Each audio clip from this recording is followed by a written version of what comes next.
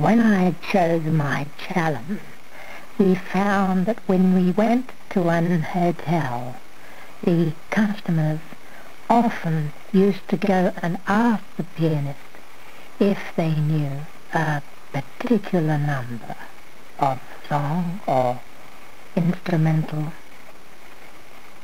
interlude.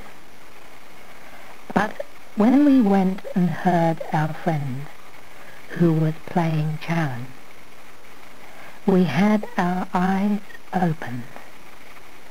It was as if Saul on the way to Damascus had a conversion, and such was this scene beset by Palm Sunday.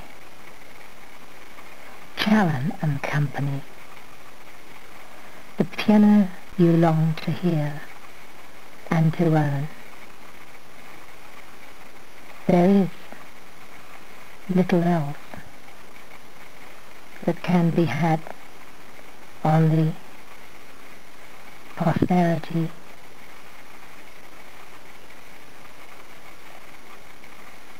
there is little else that can be had for thee posterity